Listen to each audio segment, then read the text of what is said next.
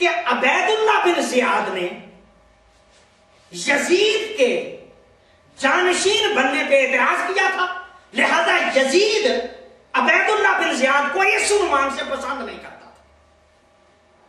सरजून ने इसीलिए बड़ी तमहीद बाँध के कहा कि अगर तेरा बाप ज़िंदा होता और वो तुम्हें कोई हुक्म देता तो क्या तू मानता या ना मानता?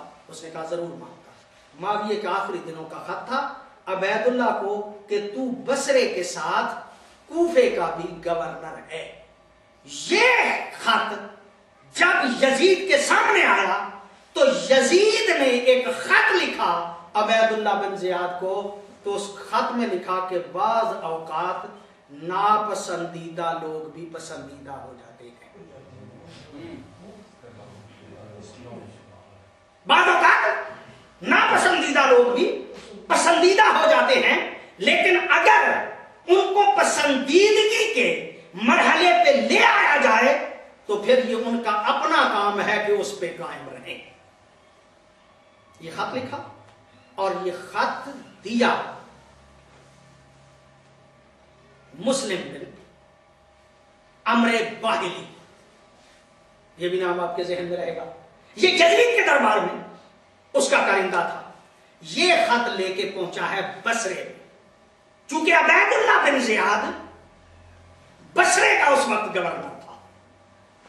जब उसके पास ये खत आया, ये इब्ने अमर बाहली खत लेके आया तो इसने फ़ौरन अपने भाई उस्मान बिन जियाद को अपना जानशीन बसरे में बनाया और खुद दूसरे ही दिन तैयारी कर ली कूफे की तरफ़। अगर आप मेरे साथ हों तो मैं तारीख का ये खुलासा जो है वो आपकी खिदमत में जो है वो पूरी तरह से अर्ज़ करना चाह रहा हूँ। एक मरतबा फिर सलाह कर लीजिए।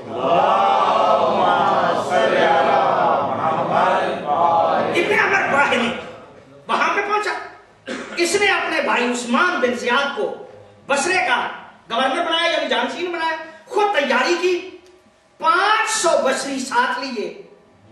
और उसी दिन एक खत लेकर मौला हुसैन का एक बंदा पहुँचा हुआ था बसरे में।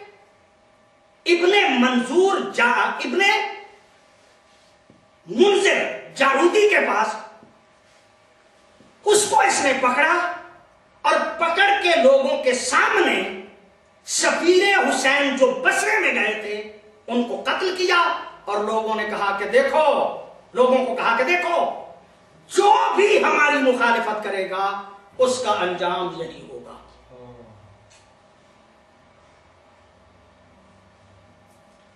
कत्ल करने के बाद सफीर हुसैन को बसरे में पाँच सौ बसरी लोगों को साथ लेके, ये चला है बसरे से कूफा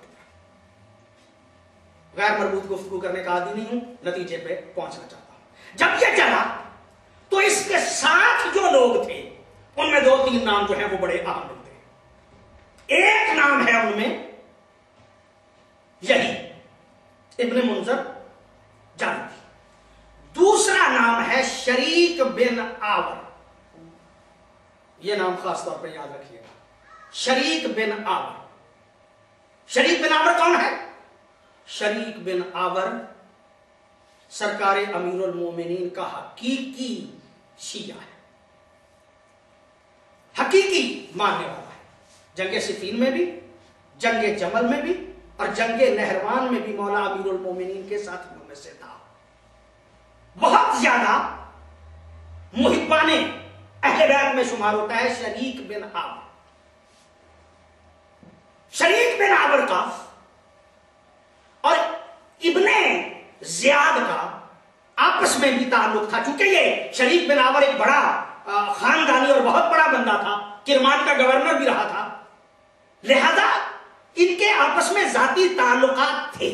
एहतराम करता था ये इब्ने जियाद जो है शरीक बिन आवर का। ये लोग चले बसरे से कूफे की तरफ़। शरीक बिन आवर जानता था कि हज़रत मुस्लिम कूफा पहुँच चुके हैं। मौला हुसैन जा रहे हैं।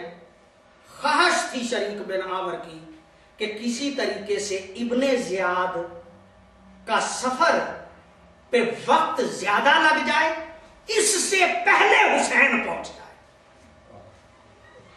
शरीक बिन आवर ये चाहता था कि किसी तरीके से मौला हुसैन पहले पहुँच जाए, पहले ये ना पहुँचे। कूफे पे मौला का कब्जा हो जाए और उसके बाद ये जाएगा तो मारा जाएगा। इसी स्कीम के तहत वो करता था कोशिश के ये रुक जाए, थोड़ा सा मामला देर हो जाए। इत्तेफाक समझिए कि शरीक बिन आवर बीमार हो गए। रास्ते। में अबैदुल्लाह बिन ने बड़ी कोशिश की कि इसे भी साथ लेके चले, लेकिन उसने कहा कि नहीं। उसने कहा कि हम भी आपके साथ रहते हैं तो उसने कहा, ठीक है कोई एक आध दिन तो इसके लिए डिले किया गया। लेकिन फिर वो चूँकि उसे जल्दी थी कूफे में कब्जा करने की, लिहाजा इसे ये रास्ते में छोड़ के आ गया है कूफे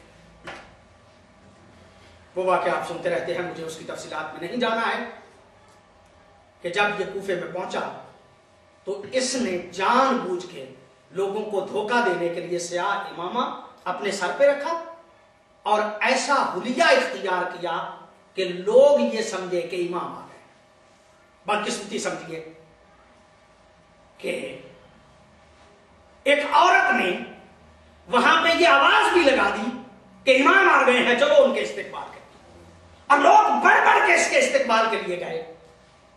जब लोग ज़्यादा तादाद में बढ़ के इसके इस्तेमाल के लिए गए तो एक मरतबा जब लोग इसके हाथ जो है उनके, उसको चूम रहे थे।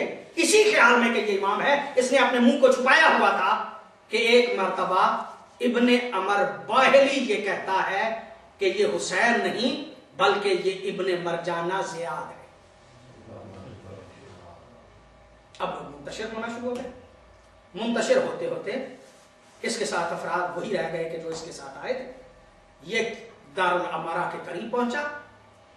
जब इसने आवाज़ दी दरवाज़ा खोलने के लिए तो नौमान इब्ने बशीर भी ये समझा के मौला हुसैन आ उसने कहा कि मैं ये अमानत आपके सुपुर्द नहीं करूँगा। फिर कहा गया कि ये इब्ने जियाद है, मौला हुसैन नहीं है तो फिर उसने दरवाज़ा खोला। मैं बहुत करीब लेके आ गया आपको। इसने सुबह उठ के तकलीफ़ की, लोगों को डराया। एक बात आपके जहन में रहे। और वह बात ये फौजी छोनी थी यहाँ पे जो लोग थे, उनके रिस्क रोजी का बंदोबस्त हुकूमत के मुशाहरे पे हुआ करता था।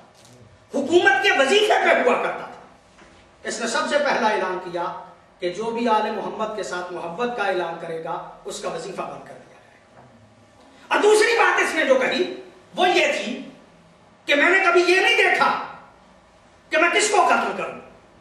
मैं दूर वाले की वजह से करीब वाले को कत्ल कर देता हूँ और गायब वाले की वजह से हाजिर को मार देता हूँ। यानी जिसका कोई रिश्तादार दूर हो, गुनागार वो हो, यहाँ पे रहने वाला गुनागार ना हो तो मैं उसके बदले में इसे मार दूँगा। और अगर कोई मौजूद नहीं, और जो मौजूद है बेगुना है, लेकिन उसके साथ उसका ताल्लुक है तो मैं हाजिर को मार दूँगा मौजूद जो गायब है उसके बदले। में हालात सख्त से सख्तर होते गए। सरकार हज़रत मुस्लिम ने अमीर मुख्तार का घर छोड़ दिया और अमीर मुख्तार का घर छोड़ के हानी बिन उर्वा के घर आ गए। हानी बिन उर्वा हानी बिन उर्वा भी अजीम शीनों में से ये भी मौला